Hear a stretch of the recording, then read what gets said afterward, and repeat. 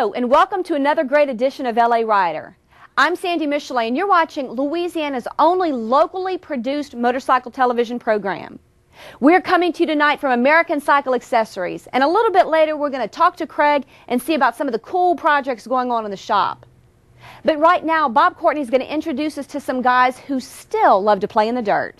Clark Johnson, 861. Lewis McCarthy, I'm age 50. I'm Frank Fletcher, age 41. I'm Mark Trepanier, uh, and I'm 52 years old, and I'm having the time of my life.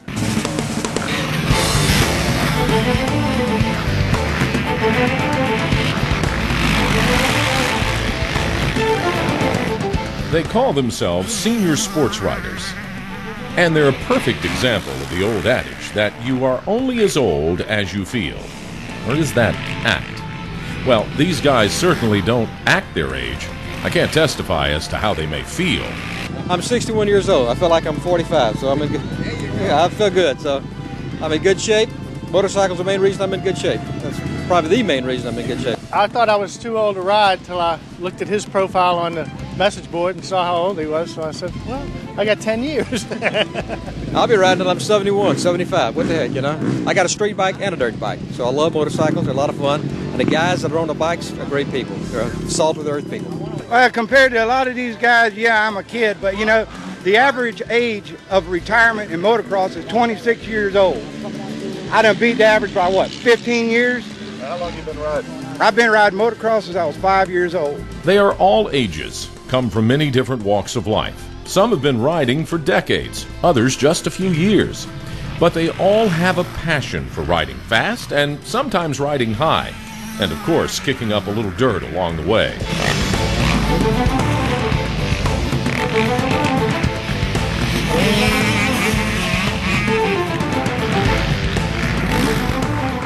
We caught up with the senior sports riders at the Highway 70 motocross track recently.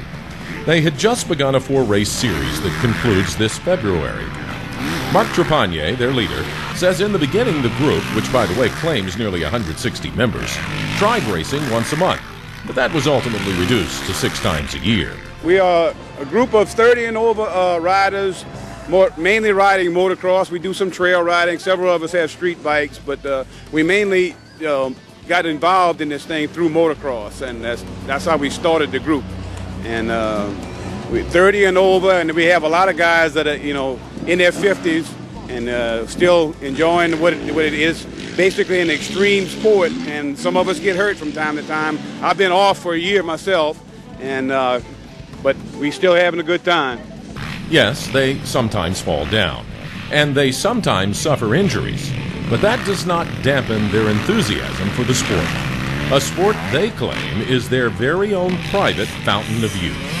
It does keep you in shape if you if you're really serious about it. It'll keep you in shape, and and it, of course it does a lot for other things too. You for you mentally and spiritually. So, at a time in their lives when many of their friends are thinking about Medicare, these guys are talking and riding motocross and loving every minute of it.